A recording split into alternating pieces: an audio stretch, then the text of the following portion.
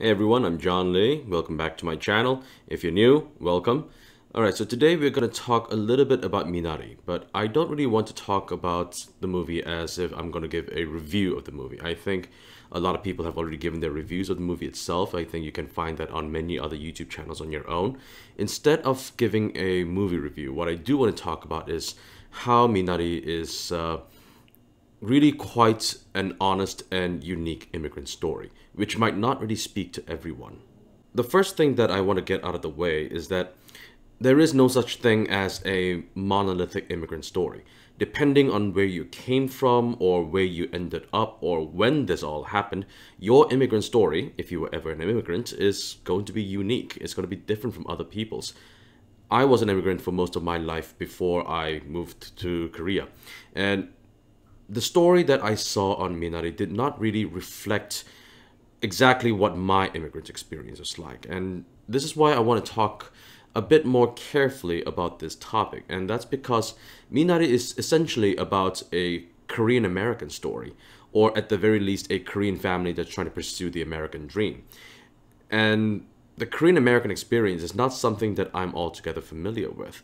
Yes, I did live a few years in America when I went to college, but that was about it. I only went there for college, and I was ensconced from the Korean American community in a very small and predominantly white college town. Uh, I know nothing about the Korean American experience. But although I just said that the immigrant experience is quite different, I do believe that there are going to be some parallels that most other immigrants are going to be able to recognize when they watch Minari. Now, for those of you who don't speak the Korean language, you might have missed that the title, Minari itself, actually gives away a lot about what you are going to witness while you watch this movie. Now, Minari is actually a type of uh, vegetable. I don't know if weed is the correct word, but I used to describe Minari as a weed quite often. And Minari is actually a very hardy plant. Now, uh, it can I call it a hardy plant because Minari can grow practically anywhere. All it needs is water and soil. And in Korean markets, you can buy Minari for cheap because they are just so abundantly grown. And so because we know what the kind of vegetable Minari is, it's hardy, it's sturdy, it can live anywhere, it's strong, and it's not exactly an elite food. It's cheap, and so it kind of represents the every man or every woman. And so because of the symbolism that we already know from the plant, we know what kind of a story that there's going to be. It's going to be about a family that needs to survive and eventually does survive because Minari is hardy and sturdy. But it's going to be a lot of heartache and hardship along the way. Now, as I said, the story that was in Minari did not really reflect my family's immigrant story, but there were enough similarities that made me curious as to the director's age. So I looked it up and it looked like um, Lee Isaac Chung was born in 1978, and so he's just a few years older than me. And so, although he's a few years older than me, because he's not that much older, his family and my family started out with probably similar socioeconomic backgrounds before our family started our respective immigrant stories. Now, personally, I didn't relate all that much to Steven Yeun's character. I'm not at all saying that Steven Yeun wasn't convincing, I think he killed the role. Rather, it's because the father figure that he portrayed on screen was not anything like the father figure that I grew up with. That being said, I did relate quite a lot to Han Ye-ri and to Youn Yuh-jung, and Han Ye-ri is Steven Yeun's character's wife, and Youn Yuh-jung is Han Ye-ri's character's mother. Now, the story takes place in the 1980s, and we know this because one of the side characters mentions that Ronald Reagan is president. Now, what that means is that Han Ye-ri's character was born sometime in the 1950s, and because of the time and the place that she was born, Han Ye-ri's character is representative of a certain generation of Korean women and Youn Yuh-jung, of course, being representative of her generation of Korean women, which might not really be all that relatable to, you know, just any other Korean woman. I think it's really a byproduct of the time that they were born and they were raised. For example, the very first time that we see Han Ye-ri's character, it's right at the beginning of the movie. It's when the whole family has just moved to Arkansas and the whole family just moved to this, uh, what's essentially a trailer home with wheels that doesn't really move. And Han Ye-ri just walks into this house and she's just disappointed. You can tell from her face. And Han Ye-ri does a lot of acting with her face in this movie. And just acting with your facial expressions, I cannot imagine that that's easy, but she kills it. And when she sees this house for the very first time, you can tell that in her heart, in her mind, there is disappointment and heartache. And the first thing that she says to her husband, I don't know if it's the first thing or one of the earliest things she says, is that this house that they moved into is not the house that Steven Yeun's character promised that uh, she, uh, they would move into. It's not the American dream that she had hoped for. And so you can see this palpable disappointment in her face. I don't know if it's representative of all Korean women from the time or if it's just the way that she was raised, but she represented the kind of a silently suffering woman character.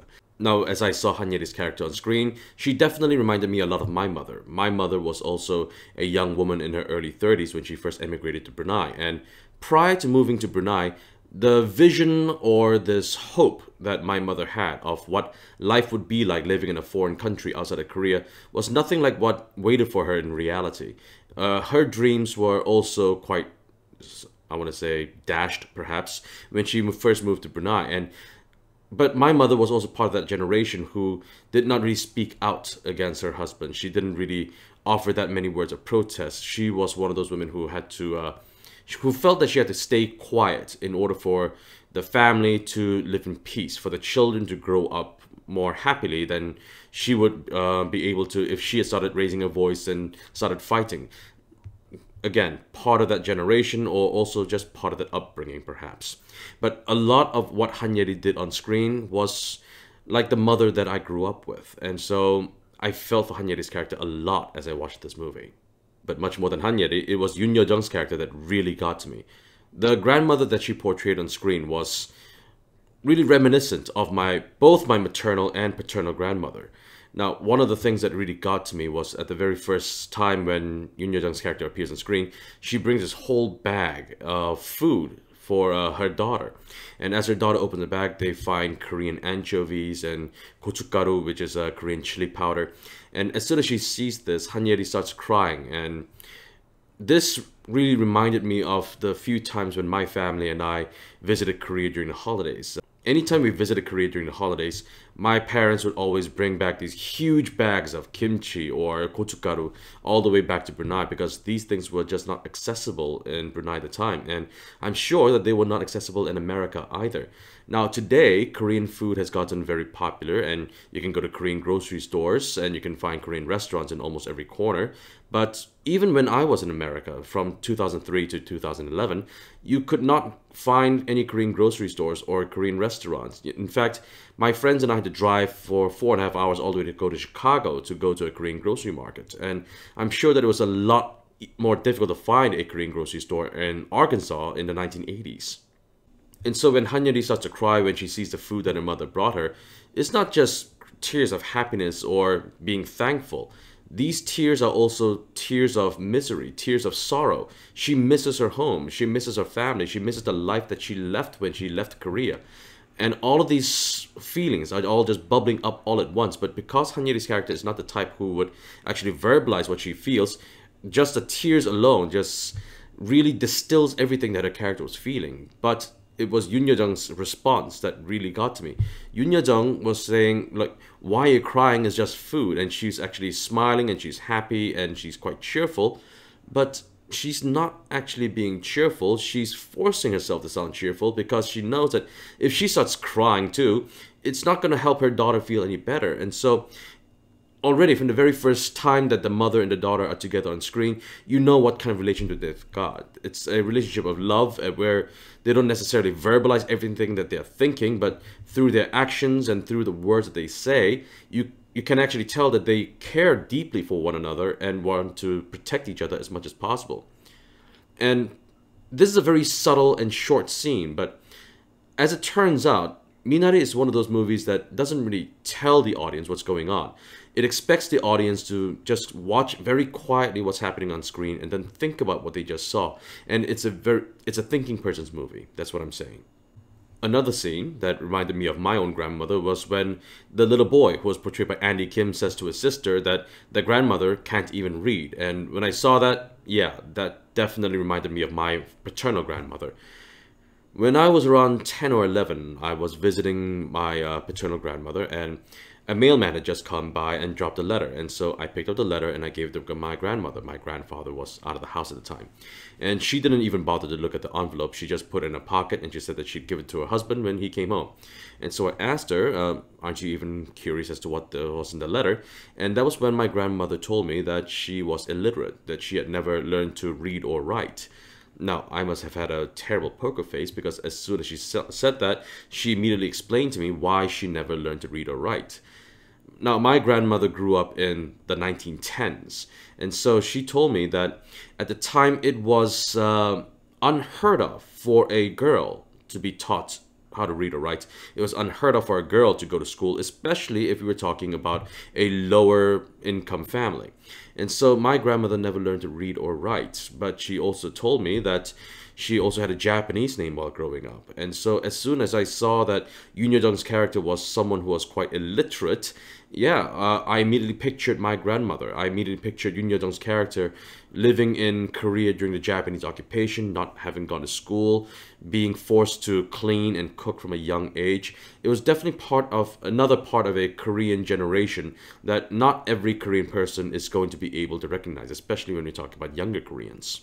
Now, aside from the two leading female characters, I do want to address one more thing about this movie, and it's the not the complete absence of, but the near absence of racism in this movie. Now, I did really appreciate the fact that this movie did not delve that deeply into racism. Now, it's not that I'm saying that I don't like stories that deal with racism. I think that's an important story that must be told, but not every story has to be about racism. And there is a little bit of racism in this movie, but it's not mean. It's uh, it comes from a well-intentioned place and it really appears in the form of the children. Now when the yi family first attend the church they, uh, the children come across um, similar age friends and when the sister meets a similar age uh, friend who's also a girl the white girl comes up to the um, the little child and she says, hey, I'm going to speak to you in your language. And as soon as she says that, she starts saying ching chong or any of these kind of weird sounds that she's just randomly making. But you can tell that it's not her intent to offend. It's not her intent to, um, to be mean to the girl. She's just trying her best to be friendly. But she just never had met an Asian person in her life and she just doesn't know that what she's doing is offensive. And there's a bit of innocence to that a similar thing happened with the boy. When the boy meets another friend who is similar to his age, the first thing that he asks uh, to the Korean boy is, why is your face so flat? Again, it's not coming from a place of meanness. It's just something that they're all genuinely curious about and they just don't really know what the politically correct way of uh, speaking to each other really is. After all, this is, you know, rural Arkansas in the 1980s. It's not exactly the mecca of political correctness. And because this movie is not so much about racism, the problems that this family has to overcome are more personal in nature. They're about relationships with each other, about how much they're willing to sacrifice to achieve their goals and their dreams, about what it means to achieve the American dream is. It's about what it means to love one another and what it means to sacrifice for one another. It's it's a much it's a very family oriented movie. And because of this, it's much more touching. It's much less about fighting the system and much more about what it means to be a family. And I think because of that element in this movie, it's just a much more touching movie. And by the time this movie had ended, I had cried like a little kid multiple times. And so, yeah, I do recommend this movie to a lot of people, especially if you've ever been an immigrant yourself. I don't know if this movie might really speak to you because, again, the immigrant story that you might have experienced might be different from the one that you see on screen, but I'm sure that there are going to be some parallels that you're not that you might be able to relate to. This is a great movie. You can tell that it was a labor of love. You can tell that this movie was everything was crafted very carefully, and everyone should watch this movie. But be warned, you are going to cry probably, and so bring a box of Kleenex with you. All right. So that's the end of this video. If you liked it, click on like, subscribe, click on the notification bell, leave a comment if you want. I'd love to read your comments. I'm John Lee, and I'll see you all next time. Bye.